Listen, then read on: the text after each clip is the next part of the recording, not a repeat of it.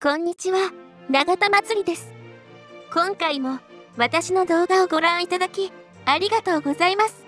失業率が最高を記録しそうになったら、公務員を増員し、失業率を強制的に下げている韓国ですが、賃金平均が320万なのに、4人に1人は150万未満と、格差が広がっているようです。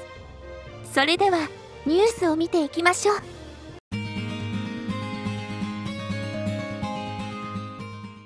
それでは、ニュースの詳細です。2020年、韓国のサラリーマンは、月に平均320万ウォンの賃金を受け取っていたことが集計で分かった。賃金労働者4人中1人の給料は150万ウォンにも満たず、中小企業労働者の1ヶ月分の給料は大手企業の半分程度に止まった。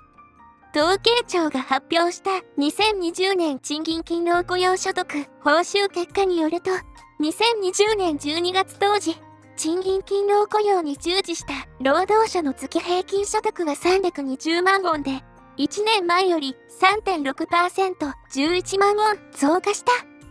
全体賃金勤労者所得の中間値を示す注意所得も242万ウォンで、1年間で3.5%、8万ウォン増えた。所得区間別に見ると、月平均所得が150万から250万ウォン未満の労働者が27.9%で最も多かった。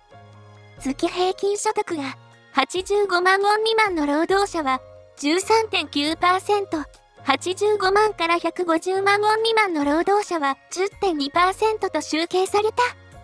賃金勤労者の4人に1人24.1%は150万ウォンに及ばない月給をもらったことになる。月平均所得が中位所得の50%未満の低賃金労働者は19.9%だった。一方、月平均所得が中位所得の150%以上の高賃金労働者は29.4%を占めた。企業規模別では、大企業の労働者の月平均所得が529万ウォンで最も高かった。中小企業の労働者の場合、月平均所得は259万ウォンと、大手企業の半分程度に止まっている。このような賃金差は、労働者の年齢が上がるほど広がっているが、50代では、大企業の平均所得687万ウォンが、中小企業280万ウォンの約2.5倍に達した。男性が女性より高い賃金をもらう性別の賃金格差も相変わらずであることが分かった。それでは、ネットの反応です。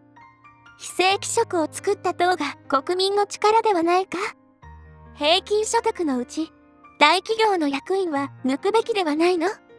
都市部を何十億ウォン以上になる人が、平均をどのくらい上げて食べるの？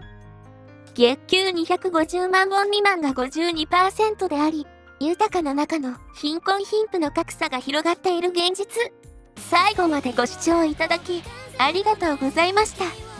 コメントいただけるととても嬉しいです。皆様の応援で頑張れます。チャンネル登録、高評価お願いいたします。また、次回の動画も見てくださいね。